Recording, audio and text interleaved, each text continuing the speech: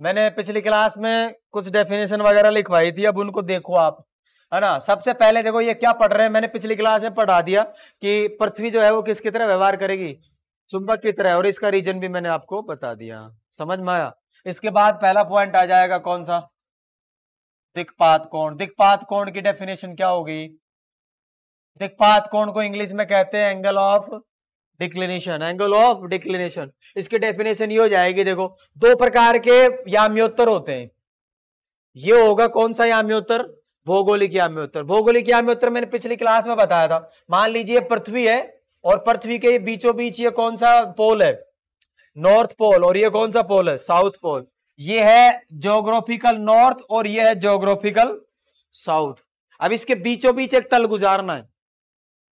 समझ में आया? नहीं यही बात समझ में बीचों बीच एक तल गुजारो, अरे ग्लोब के बीचों बीच एक ऊर्ध्वाधर तलेट स्लेट ले लो। एक स्लेट को बिल्कुल ग्लोब के बीचों बीच पास कर दो ऐसे। आधा ग्लोब इधर, आधा ग्लोब इधर समझ में आया? और वो बीचों बीच जब पास होगा तो वो किधर से पास होगा? इस लाइन से पास होगा। इस लाइन से पास होने वाला जो तल होगा, उसको कहेंगे भौगोलिक याम्योत्तर। और जो चुंबक के बीच में से अक्षय से पास होता है, उसको कहते हैं चुंबकीय याम्योत्तर। तो मैंने आपको डेफिनेशन बताई कि चुंबकीय याम्योत्तर और भौगोलिक याम्योत्तर के बीच का जो कोण होता है, उसी को क्या कहते हैं? दिक्पात कोण। तो मान लीजिए ये तो कौन है अपना। अरे ये तो कौन है। ये है भौगोलिक याम्योत्तर। कौन सा याम्योत्तर? भौगोलिक याम्योत्तर। इसमें डायग्राम बनाना पड़ेगा आपको। और मैं देखो, एक दूसरा तल बना रहा हूँ, ध्यान से देखिए। है ना, ये थोड़ा सा क्या चेंज करो इसको। मैं यहाँ से इसके शेड को चेंज कर रहा हूँ ताकि आपको नज़र आए कि ये मैंने कोई दूसरा प्लेन बनाया है। समझ में आ रहा है? दूसरा प्लेन हम दूसरे कलर से बना रहे हैं। इधर देखो। ये वाला कलर ले रहे हम। दिख रहा है सबको? ये जो प्लेन बनेगा ना दूसरा वाला दिख रहा है क्या ये?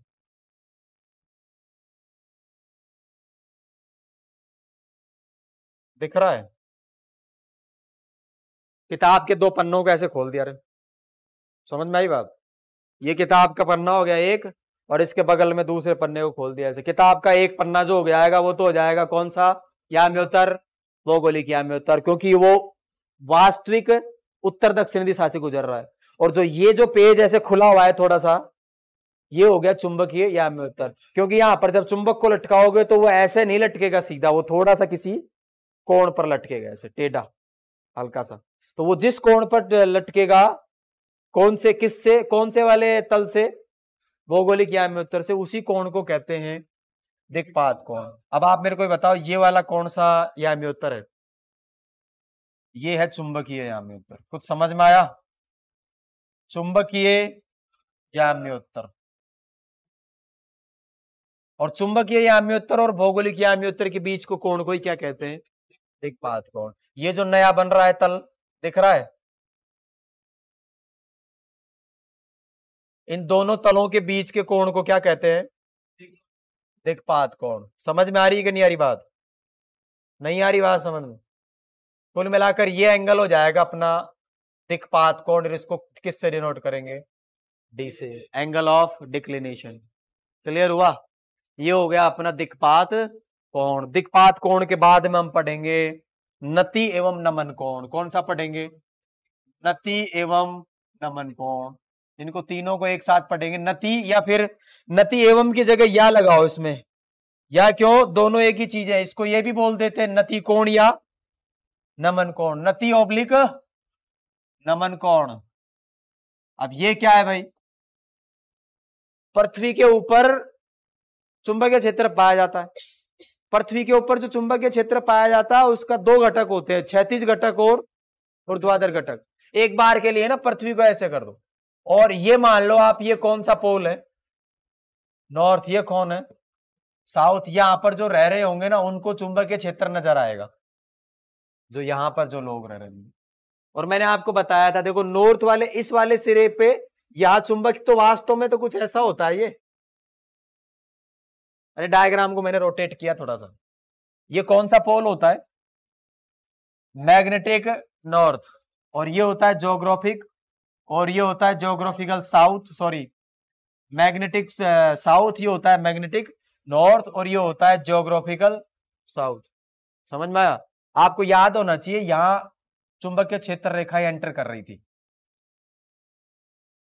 और इधर से बाहर निकल रही थी। याद है? तो ये जब साउथ से निकलेंगी तो ये घूमकर इधर ही तो आ रही होंगी। बोलो हाँ या ना? क्लियर है? समझ में आ रहा है कुछ? पृथ्वी के चारों ओर चुंबकीय क्षेत्र पाया जाता क्लियर अब जो यहाँ पर रह रहा होगा कोई, उसके पास अगर उसको चुंबकीय क्षेत्र की दिशा पता करनी है, पृथ्वी के चुंबकीय क्षेत्र की तो उस जगह से गुजरने वाली चुंबकीय क्षेत्र रेखा पर क्या बना देगा वो? स्पर्श रेखा। है ना? जैसे ये एक चुंबकीय क्षेत्र रेखा और निकाल देता हूँ मैं। और ये इधर से गुजर गई और यह आ गई। ठीक है? और मुझे इस स्थान पर पृथ्वी के ऊपर से भी गुजरेंगी है मुझे इस स्थान पर चुंबकीय क्षेत्र की दिशा पता करनी है। तो मैं इस स्थान पर एक स्पर्श रेखा बना दूँगा। स्पर्श रेखा बना दी ये रही समझ में आया? इस जगह पर पृथ्वी का चुंबकीय क्षेत्र की दिशा हो जाएगी और उसको किससे डिनोट करेंगे? ई से। चुंबकीय क्षेत्र ऑफ़ अर्थ। पृथ्वी का चुंबकीय क्षेत्र। अब इसको ध्यान से देखो, आप ये छैतीस है, सीधी। पृथ्वी के ऊपर ये वाली लाइन को छैतीस बोलते हैं छैतीस क्लियर है? पृथ्वी पे कोई खड़ा होगा तो पृथ्वी के समानांतर जो लाइन होती है, वो क्या होगी? छत्तीस और ऊर्ध्वाधर, बिल्कुल ये ऊपर हो जाएगा ऐसे। ठीक है? अब आप इसके दो घटक कर सकते हो, देखो ध्यान से। ये चुंबकीय क्षेत्र यहाँ था ये चुंबकीय क्षेत्र एक्चुअल में तो इधर है। इसका इस साइड भी घटक किया जा सकता है, इस साइड और इसका एक घटक किया जा सकता है, नीचे की तरफ़। समझ में आ रहा है कुछ? तो पृथ्वी के चुंबकीय क्षेत्र के कितने घटक होते हैं? दो। हॉरिजेंटल घटक, जिसको कहेंगे छैतीस घटक। है ना? जो पृथ्वी पर कोई खड़ा है, ऐसे सीधा जो भी घटक है। तो पृथ्वी पर खड़े हुए के हिसाब से तो सीधा तो ये है। तो ये घटक आ जाएगा, इसको बोलेंगे बी एच पृथ्वी के चुंबकीय क्षेत्र का होरिजेंटल कंपोनेंट होरिजेंटल मतलब छत्तीस और इस घटक को बोल देंगे पृथ्वी के चुंबकीय क्षेत्र का वर्टिकल कंपोनेंट जिसको कह देंगे B vertical component of B समझ में आया? वर्टिकल का मतलब ऊर्ध्वाधर। और एक चीज़ और है, ये ऊपर की तरफ़ नहीं होगा ऊर्ध्वाधर। नीचे की ओर होगा। क्योंकि जब इसके टुकड़े करोगे तो एक टुकड़ा इधर आएगा, लेकिन दूसरा टुकड़ा नीचे की तरफ़ आएगा। कुछ समझ में आ रहा है? इधर करोगे तो ये कुछ अलग दिशा में आएगा। यहाँ करो, देखो यहाँ तो ऊपर आ रहा था। फिर इसका टुकड़ा करोगे तो एक ऊपर आएगा, एक इधर आएगा। अलग अलग जगह, कहीं नीचे, ये डिपेंड करता है आप कौन सी जगह पर है। अब देखो, आप ये वाला कोण कहलाता है थीटा इस कोण को कहते हैं नती या नमन कोण कुछ समझ में आया? अब ये कोण पता है, अब एक चीज़ और याद रख लीजिए, पृथ्वी की सतह पर जब भी स्वतंत्रता पूर्वक आप चुंबक को लटकाओगे तो वो चुंबक उसी दिशा में जाकर के ठहरेगा, जिस दिशा में वास्तव में कौन सा क्षेत्र है? पृथ्वी का चुंबकीय क्षेत्र है। समझ में आ रही बात? मैंने आपको पिछली क्लास में भी बताया था कि ये एक समान चुंबकीय क्षेत्र है और इसमें चुंबकीय क्षेत्र इधर है और ये नॉर्थ पोल है चुंबक का। इसको आप मीन पोजीशन से घुमा करके छोड़ दो। वो रुकेगा कहाँ जाकर ये? स्थायी साम्य में। रुकेगा कहाँ जाकर? स्थायी साम्य में। यानी ये ऐसा तो रुकने वाला नहीं है। ये रुकेगा इधर ही जाकर ऐसे ही। बोलो हाँ करना तो चुंबक को जब किसी चुंबक के क्षेत्र में ले जाकर के रखते हो तो उस चुंबक का उत्तरी ध्रुव उधर जाकर के ठहरता है, जिस दिशा में वहाँ पर कौन है? चुंबकीय क्षेत्र। समझ में आया? अब अगर आप यहाँ पर लटका दो चुंबकीय सुई को, है ना, इस जगह पर चुंबकीय सुई को लटका दो, पृथ्वी पर। पृथ्वी पर चुंबकीय सुई को लटका देते हैं, मैं क्या करता हूँ? मैं क्या करता हूँ? ध्यान से देखो, ये थोड़ी सी जगह में खाली कर रहा हूँ, मैं यहाँ क्या लटकाऊँगा? चुंबकीय सुई लटकाऊँगा। और ये लाइनें समझ में आ गई आपको? ये सब क्या है? यहाँ पर चुंबकीय सुई लटकाएँगे, यहाँ एक धागा बांधेंगे ऐसे। और चुंबकीय सुई लटकाएँगे। चुंबकीय सुई का डायग्राम आपको थोड़ा सा याद ऐसा बना देते हैं। ठीक है, ये चुंबकीय सुई कह दो, चुंबक कह दो, एक ही बात है। इसका एक तो पोल होगा नॉर्थ पोल दूसरा पोल होगा साउथ पोल क्लियर है? अब मैं इसको यहाँ लटकाऊँगा ऐसे। तो ये ऐसे लटकेगी, क्या मेरे को तो ये बताओ? क्या सही लटक रही है क्या ये? ये नॉर्थ और ये साउथ क्या ये नॉर्थ की तरफ़ रिप्रेजेंट कर, ये तो इधर बता रही है। ये किधर लटकेगी मैं यही कर रहा हूँ। इसके हिसाब से देखो। इस चुंबक को लटकाया, चुंबक का उत्तरी ध्रुव किधर आकर एडजस्ट हो जाता है? चुंबकीय क्षेत्र की तरफ़। समझ में आया कुछ? और पृथ्वी का चुंबकीय क्षेत्र ओरिजेंटल भी नहीं है वर्टिकल भी नहीं है, वो तो इधर है। तो ये इधर ही आनी चाहिए। तो ये छैतीज में नहीं ठहरेगी ऐसे। समझ में आ रहा है? चुंबक तो आपने लटकाया है बिल्कुल सीधा, लेकिन ये ऐसे नहीं ठहरेगा। आगे से ऐसे झुकेगा। किसकी तरफ़ झुकेगा? पृथ्वी के चुंबकीय क्षेत्र की तरफ़, क्योंकि चुंबक हमेशा उधर ही जाकर के रोकता है। जिधर चुंबकीय क्षेत्र का टोटल चुंबकीय क्षेत्र होता है है ना? उसका उत्तरी ध्रुव। तो होगा क्या ये? ऐसा ही नहीं रुकने वाला। ये चुंबकीय सुई देखो कैसी बनेगी, ये चुंबकीय सुई बनेगी। मैं इसको नीचे की तरफ़ बनाऊँगा, फिर बाद में शिफ्ट करके। ये चुंबकीय सुई बनेगी ऐसी। ये बनेगी ऐसी। कुछ समझ में आ रहा?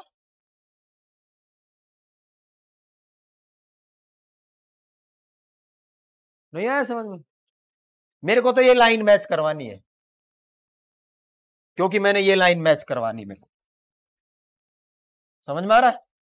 तो मैंने ये लाइन मैच करवा ठीक है? समझ में आई बात? ये कौन था? ये कौन था? छैतीस कंपोनेंट? और ये कौन था? वर्टिकल घटक? और ये एंगल जो आएगा, यही थीटा कहलाएगा। अब इसकी डेफिनेशन कैसे देंगे? जब भी स्वतंत्रता पूर्वक किसी चुंबकीय सुई को लटकाया जाता है तो चुंबकीय सुई के उत्तरी ध्रुव द्वारा छैतीज के साथ बनाया गया कोण। छैतीज तो ये रहा, चुंबकीय सुई ऐसी नहीं होती, चुंबकीय सुई तो ऐसे जाएगी। तो चुंबकीय सुई का जो कितना कोण बना रही है छैतीज के साथ, उसी को कहते हैं नतिया नमन कोण। कुछ समझ में आया? अब डायग्राम में ये सब बनाने की ज़रूरत नहीं पड़ती है, दो लाइनें बनाते हैं, जो डायग्राम अपने को बनाना है। चुंबकीय सुई, देखो, ये है पृथ्वी का कौन सा घटक? बी एच ये है बीवी और ये है इनका टोटल कुछ समझ में आ रहा है? और यहाँ लटकाएँगे किसको? चुंबकीय सुई को। चुंबकीय सुई को लटका दिया, ये रही चुंबकीय सुई। ठीक? और ये चुंबकीय सुई का कौन सा ध्रुव? ये। तो जब भी स्वतंत्रता पूर्व किसी चुंबकीय सुई को लटकाया जाएगा तो चुंबकीय सुई के द्वारा क्षैतिज के साथ बनाया गया। कोण ही कहलाता है? नतीय नमन कोण डेफिनेशन लिखेंगे आगे। समझ में आया कुछ? क्लियर है? अब आपको देखना है पृथ्वी के चुंबकीय क्षेत्र के घटक हो गए कितने? दो।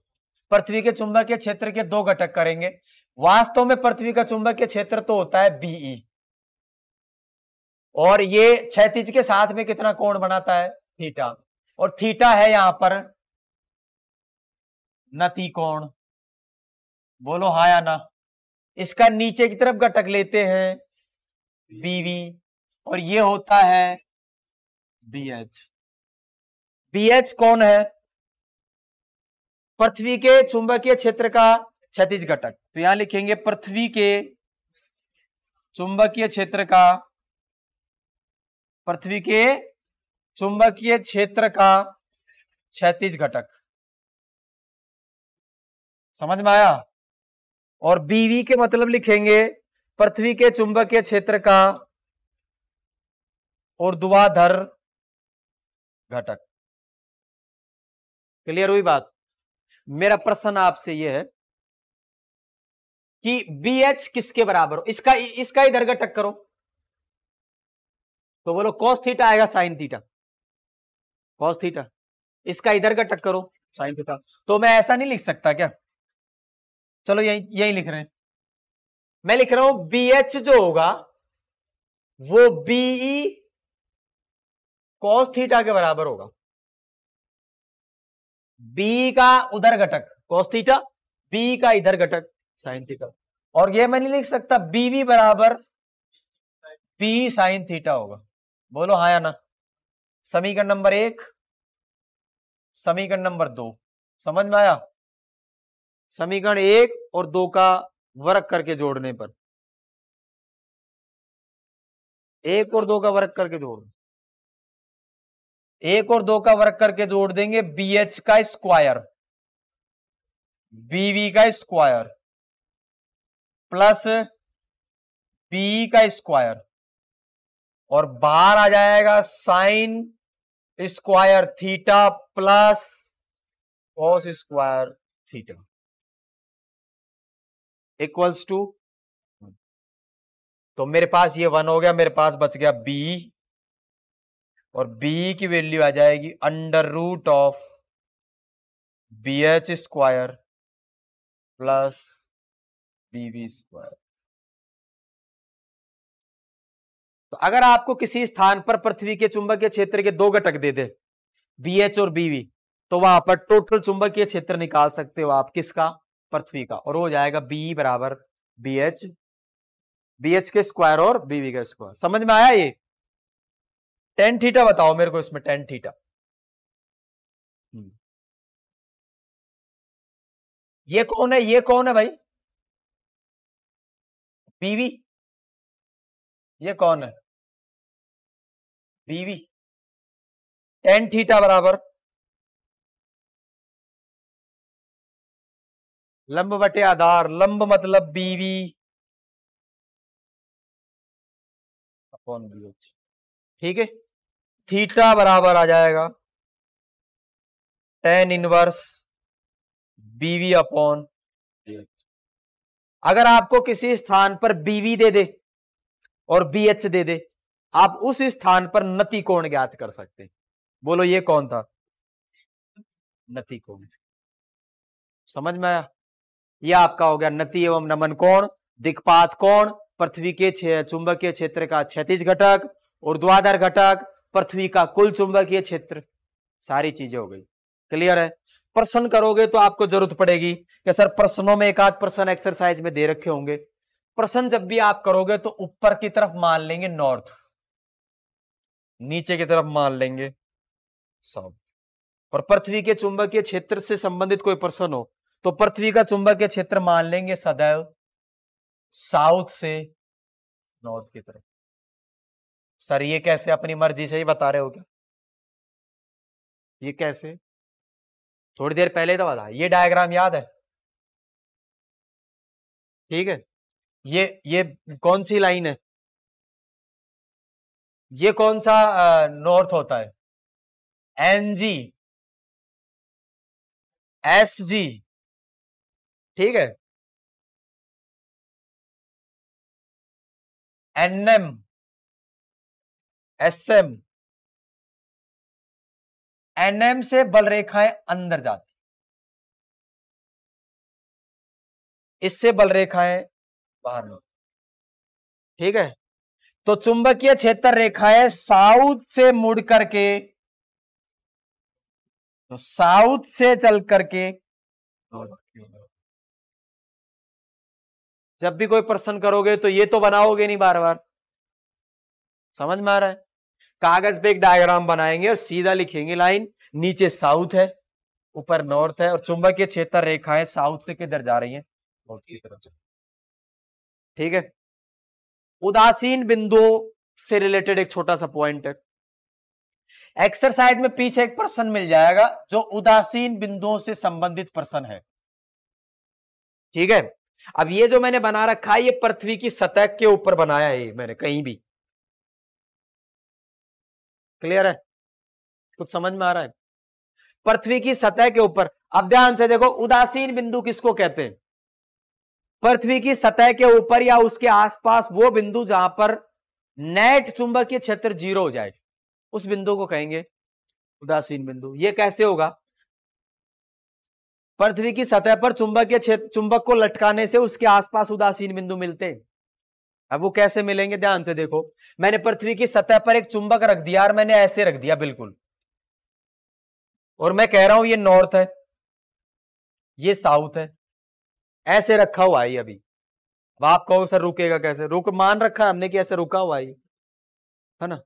और अब मेरे को एक बात बताओ, एन के कारण चुंबकीय क्षेत्र की दिशा किधर होगी? मतलब इसके अक्ष में चुंबकीय क्षेत्र की दिशा किधर होगी? चुंबक के अक्ष के कारण।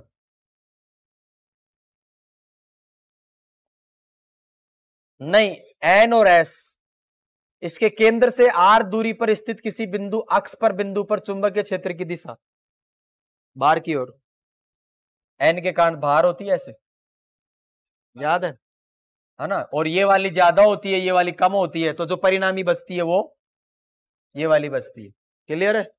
तो इसके कारण, चुंबक के कारण चुंबकीय क्षेत्र तो किधर आएगा? नीचे की ओर। जबकि पृथ्वी का चुंबकीय क्षेत्र किधर है? ऊपर की ओर। अब आप खुद सोचिए, एक चुंबकीय क्षेत्र नीचे की तरफ़ है, दूसरा चुंबकीय क्षेत्र ऊपर की तरफ़ है।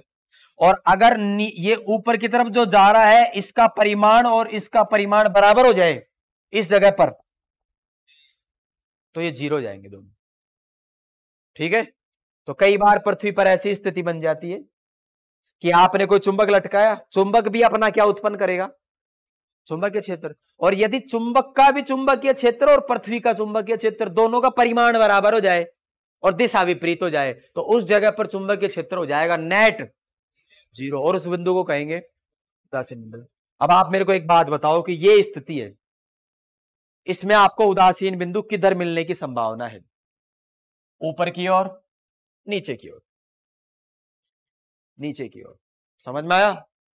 क्योंकि नीचे की ओर देखो, नीचे की ओर ये बिंदु सेलेक्ट करो। इस बिंदु पर चुंबक के कारण तो होगा, नीचे की ओर, लेकिन इस बिंदु पर पृथ्वी के कारण होगा, ऊपर की ओर तो यहाँ पर ज़ीरो हो सकता है। हाँ। और ये बराबर हो भी जाएगा। तो इस जगह पर अपने को क्या मिल जाएगा, उदासीन बिंदु। इधर हो जाएगा क्या कभी?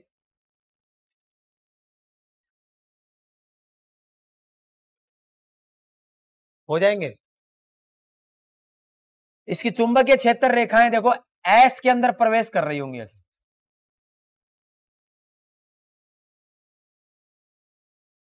समझ में आ रही बात?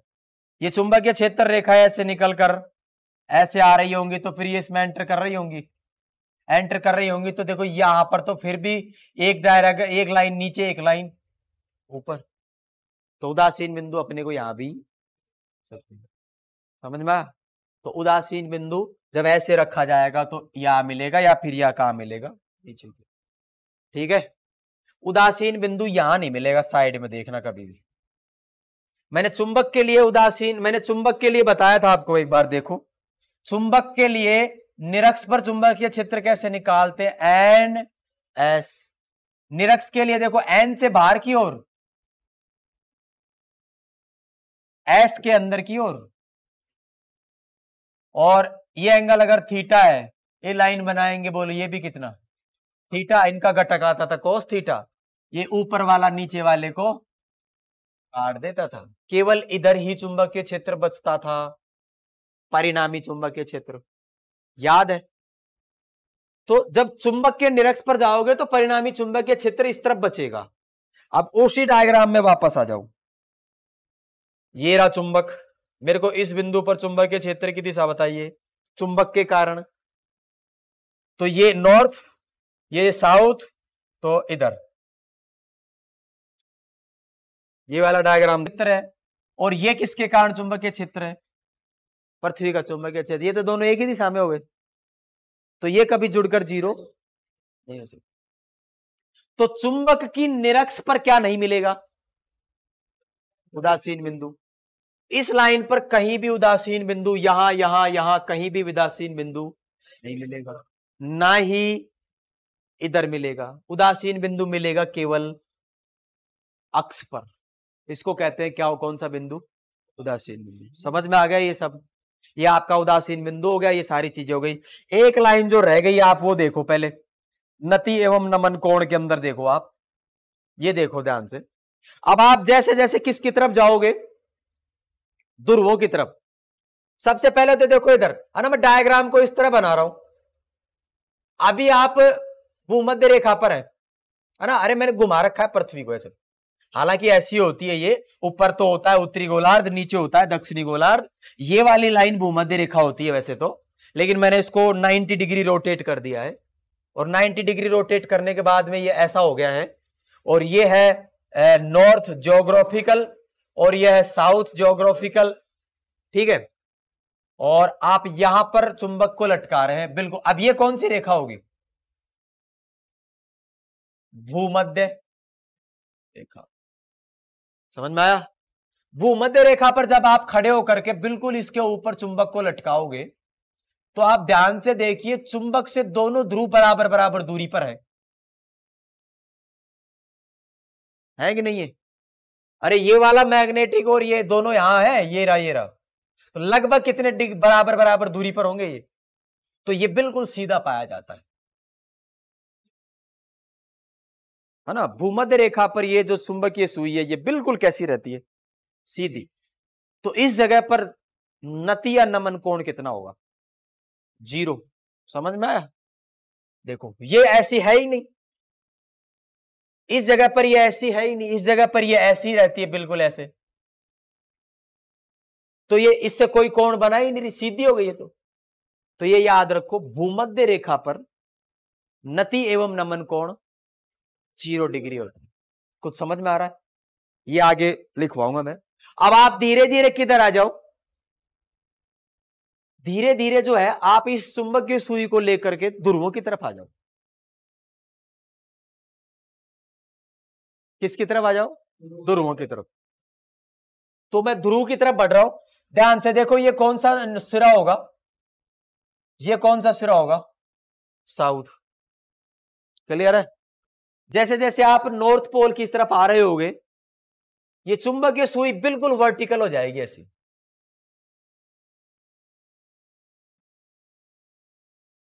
ऊर्ध्वाधर। अब इसमें थोड़ा सा देखो, वो है मतलब वास्तविकता में जिधर आप ये मैग्नेटिक नॉर्थ लिखते हो ना, एनएम। वहाँ वास्तव में साउथ पोल होता है चुंबक का। वहाँ वास्तव में पृथ्वी का कौन सा पोल होता है?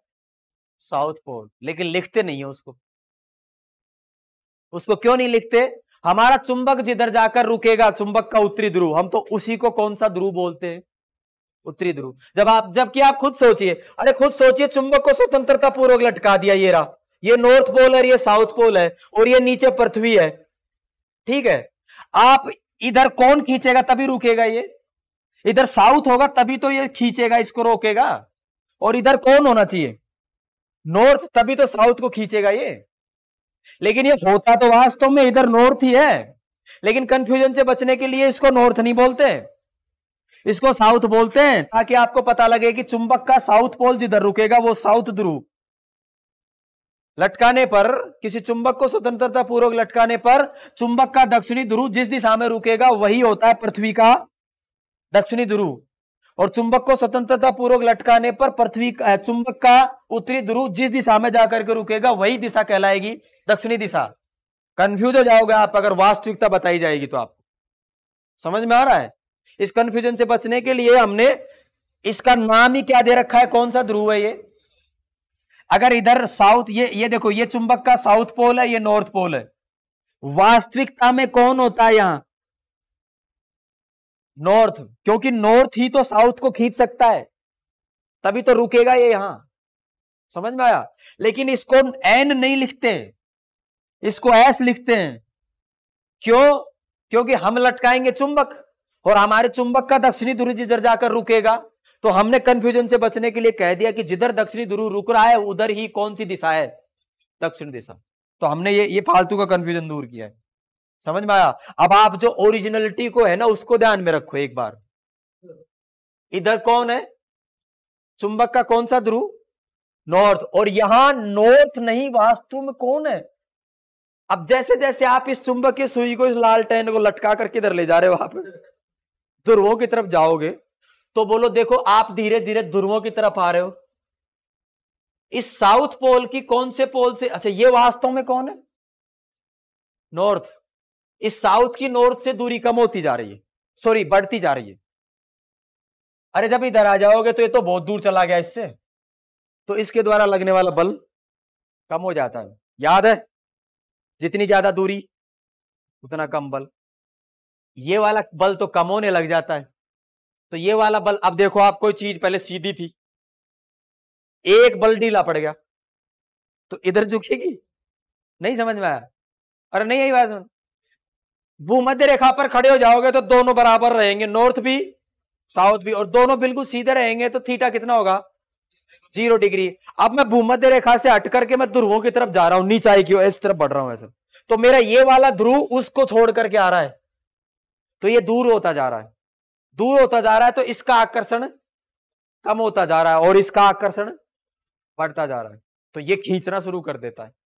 और जो चीज़ पहले सीधी थी ना, अब ये खींचना शुरू कर देता है और ये ढीला पड़ गया। तो ये वाला तो ये वाला जो सिरा ये तो ऊपर उठना शुरू कर देता है। और ये वाला सिरा नीचे जाना शुरू कर देता है। और जैसे ही आप लास्ट में पहुँच जाओगे, सुधर। समझ में आई बात? ये रही हम समझ में आया? तो अब मेरा प्रश्न आपसे सिर्फ़ इतना है कि ध्रुवों पर नतीय नमन कोण कितना होता है? ये कितना दिख रहा है?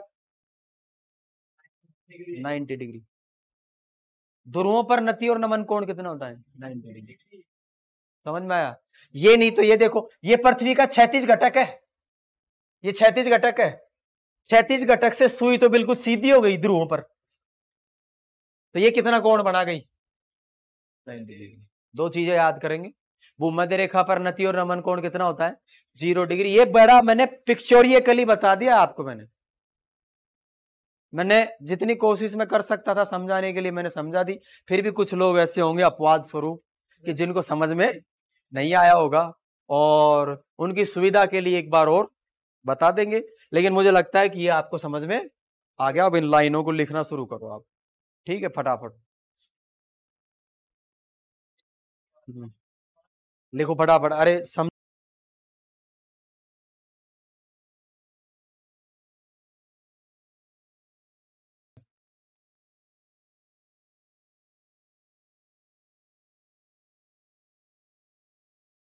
चुंबकत्व से संबंधित महत्वपूर्ण राशियाँ।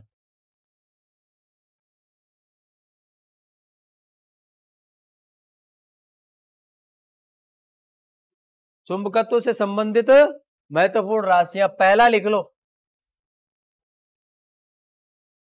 पहला पॉइंट आ जाता है इसके अंदर चुंबकन तीव्रता। चुंबकन तीव्रता। मैग्नेटाइजिंग इंटेंसिटी मैग्नेटाइजिंग इंटेंसिटी चुंबकन तीव्रता क्या होती है? ध्यान से देखो। जब भी किसी पदार्थ को हम चुंबकीय क्षेत्र में रखेंगे तो पहले तो देखो, आपको एक चीज़ पता रहनी चाहिए, पदार्थ के अंदर देखो, इसमें वो पाया जाता है। आपको मैंने बताया था, परिक्रमी इलेक्ट्रॉन का चुंब चुंबकीय आगुण होता है। अरे, एक फॉर्मूला निकल ईवीआर बटे दो। पिछले चैप्टर में था। परिक्रमी इलेक्ट्रॉन का एक चुंबकीय आगुण होता है। किसी भी पदार्थ में इलेक्ट्रॉन्स होते हैं। इलेक्ट्रॉन्स चक्रण लगाएँगे, परमाणु की बात कर रहा हूँ मैं तो सीधा। परमाणु में मान लीजिए युग्मित इलेक्ट्रॉन नहीं है और अकेला इलेक्ट्रॉन है, ये उसका है नाभिक। नाभिक के चारों ओर चक्कर लगाएगा इसे? चक्कर लगाएगा तो इसका एक वो आएगा, चुंबकीय आघूर्ण। चुंबकीय आघूर्ण। तो इसमें चुंबकीय आगुण आ जाएगा चुंबकीय आगुण को किससे डिनोट करते हैं? एम से। समझ में आई बात? तो प्रत्येक पदार्थ के अंदर चुंबकीय आगुण उत्पन्न होता है। और जब आप इसको किसी बाह्य चुंबक के क्षेत्र में रखोगे, है ना? तो होता क्या है? देखो, इसमें बहुत सारे परमाणु हैं। सबका अपना अपना एक चुंबकीय आगुण है। तो मान लीजिए ये कोई परमाणु है, इसका इधर चुंबकीय आगुण की दिशा आ गई है। क्लियर है? कोई और परमाणु पड़ा होगा, इधर चुंबकीय आघूर्ण आएगा। कोई और परमाणु पड़ा होगा, इधर चुंबकीय आघूर्ण होगा। है ना? इस तरह से चुंबकीय आघूर्णों की दिशा होगी। और शुरुआत में ये किस तरह पड़े हुए होंगे सारे? यादृचिक रूप से। जब कोई बाहर से कोई भी चुंबकीय क्षेत्र आपने हाँ मतलब बीज इक्वस टू क्या है? ज़ीरो आपने बाहर से कोई चुंबकीय क्षेत्र नहीं लगा रखा। याद करो, ऐसी थ्योरी कहा पड़ी थी? पैरावैद्युत याद है पैरा विद्युत पदार्थ? उसमें वहाँ लगाते थे विद्युत क्षेत्र, यहाँ लगाते हैं चुंबकीय क्षेत्र। जब किसी पदार्थ को चुंबकीय क्षेत्र में नहीं रखा था हमने तो उससे पहले उसके प्रत्येक अणु या परमाणु का एक दिधुर एक चुंबकीय आगुण था। लेकिन वो सब यादृचिक रूप से पड़े हुए थे तो पदार्थ का कोई भी नेट चुंबकीय आगुण नहीं था। समझ में आया? पदार्थ का नेट चुंबकीय आगुण ये नेट है एम नेट। एम कितना है? ज़ीरो। क्योंकि ये सब, देखो, ये वाले को कोई ये वाला काट देगा इस तरफ़ वाला। तो सब ओवरऑल कितना हो जाता था? ज़ीरो। लेकिन आप क्या करोगे, जब इस पदार्थ को किसी बाह्य चुंबकीय क्षेत्र में रखोगे? क्लियर है? बाह्य चुंबकीय क्षेत्र, देखो, कैसा वाला? मान लीजिए ये कोई चुंबकीय क्षेत्र है ऐसा, और आपने इस पदार्थ को चुंबकीय क्षेत्र में रख दिया तो ये इधर मुँह कर रखा था ना जिस दूर ने, ये घूम कर चुंबकीय क्षेत्र की दिशा में आएगा। याद करो ये सब दिधूर में सारे, ये सारे छोटे के छोटे चुंबकीय आघूर्ण है। आघूर्ण का मतलब चुंबकीय दिधूर बन गए सब। वहाँ वैद्युत दिधूर होता था, या चुंबकीय दिधूर ये एक चुंबकीय दिधूर है और ये इसका दिधूर आघूर्ण है। चाहे दिधुर आगुण कह दो, चाहे चुंबकीय आगुण कह दो, एक ही बात है। ये इसका चुंबकीय आगुण है, और ये भी घूम करके इधर आ जाएगा ऐसा। सब सारे दिधुर इस तरह एडजस्ट हो जाएँगे। चुंबकीय क्षेत्र की दिशा में। तो इस पदार्थ में एक नेट चुंबकीय आघूर्ण उत्पन्न होगा। कुछ समझ में आया? इस पदार्थ में एक नेट चुंबकीय आघूर्ण उत्पन्न होगा जो पहले कितना हुआ करता था? ज़ीरो अब किसी पदार्थ के अंदर जो एकांक आयतन में उत्पन्न होने वाला नेट जो चुंबकीय आघूर्ण होता है उसी को कहते हैं चुंबकन तीव्रता। उसी को कहते हैं चुंबकन तीव्रता। समझ में आया डेफिनेशन नहीं यही बात समझ में। किसी पदार्थ के एकांक आयतन में उपस्थित नेट चुंबकीय आघूर्ण ही उस पदार्थ की चुंबकन तीव्रता का समझ में आया? मेरे को चुंबकन तीव्रता का मात्रक बता दो।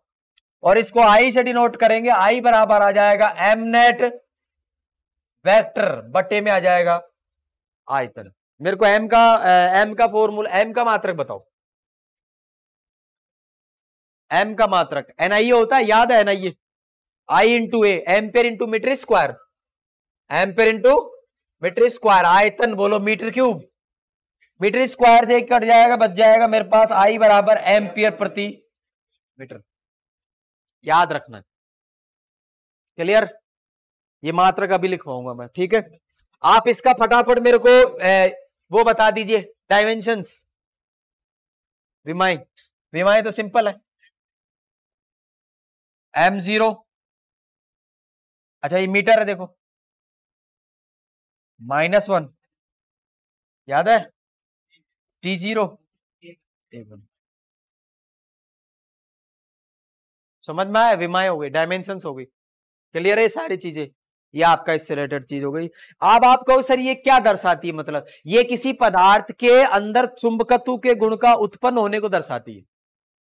तो किसी पदार्थ को चुंबकित करने के लिए जिस बाहरी क्षेत्र में उसको रखा जाता है, उस बाहरी क्षेत्र को कहते हैं चुंबकन क्षेत्र। समझ में आया? अब मान लीजिए चुंबक, चुंबकीय क्षेत्र बी नोट में रखा जाता है और ये किसमें रखने की कोशिश कर रहे हैं? निर्वात तो उस जगह का चुंबकन क्षेत्र कहलाएगा एच बराबर B naught upon U naught. ये याद करना पड़ेगा। एच को कहते हैं कौन सा क्षेत्र? चुंबकन क्षेत्र चुंबकन क्षेत्र की यूनिट जो होती है, वो टेस्ला नहीं होती यही तो बताना चाह रहा हूँ। अरे मान लीजिए किसी स्थान पर आपने कितना चुंबकीय क्षेत्र लगाया है? बी नोट किसी पदार्थ को चुंबकित करने के लिए। बी नोट में म्यू नोट का भाग दे दो, उसको भाग देने के बाद वो क्या बनता है? चुंबकन क्षेत्र। तो निर्वात में चुंबकन क्षेत्र क्या होता है? निर्वात में चुंबकन क्षेत्र होता है, उस जगह पर चुंबकीय क्षेत्र बटे म्यू नोट उस जगह पर चुंबकीय क्षेत्र बटे म्यूनोट वो कहलाएगा निर्वात का चुंबकन क्षेत्र। ध्यान से देखो, ये है चुंबकन क्षेत्र, ये है चुंबकीय क्षेत्र। समझ में आया? चुंबकीय क्षेत्र में म्यूनोट का भाग देंगे तो चुंबकन क्षेत्र बनता है। क्लियर हो रही बात? आप इसका मात्रक बता देंगे? इसका मात्रक। नहीं आता है। कैसे निकालोगे?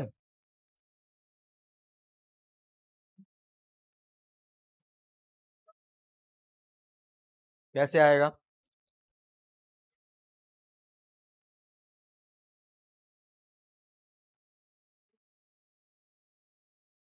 बी बराबर क्या होता था? याद करो।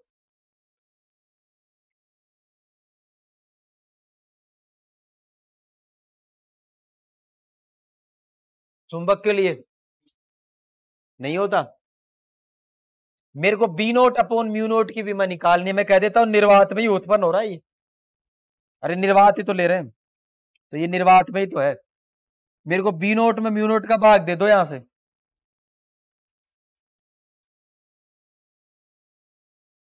बी नोट में म्यू नोट को नीचे ले जाओ।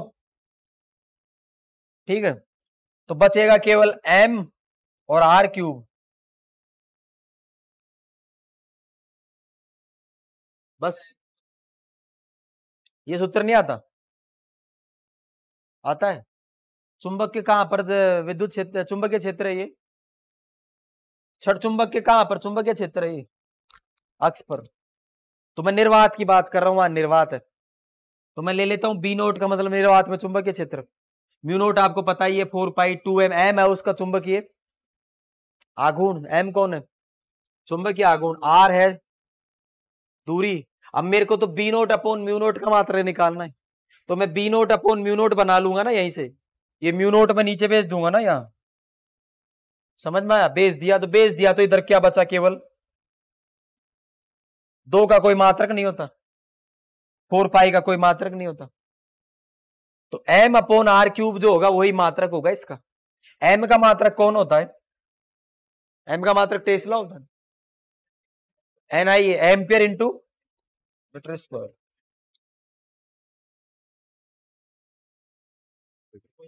वही आ गया। तो ध्यान रखना आई और एच की बीमा सेम होती। आई और एच की बीमा सेम होती। समझ में आया? डेफिनेशन क्लियर हुआ? इसके बाद आ जाता है चुंबकन तीव्रता इसके बाद क्या आ जाता है? चुंबकन तीव्रता चुंबकन तीव्रता तो हो गई चुंबकीय प्रवृत्ति। चुंबकीय प्रवृत्ति। चुंबकीय प्रवृत्ति कुछ नहीं होता। आई जो है आई समानुपाती होता है एच के।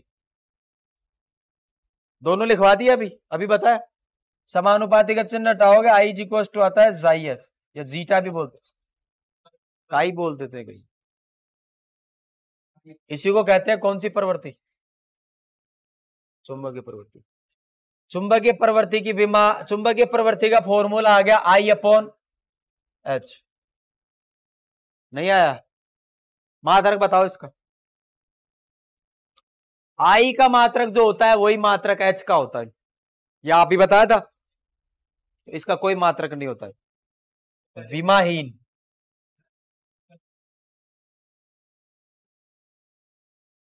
हम्म। एक विमाहीन राशि होती याद है? प्रतिचुंबकीय पदार्थ के लिए इसका मान नेगेटिव होता है। आगे लिखवाऊँगा ठीक है? ये आज के लिए काफ़ी है, दो लाइनें लिख लो। पाँच मिनट है, पाँच मिनट में दो लाइनें। चुम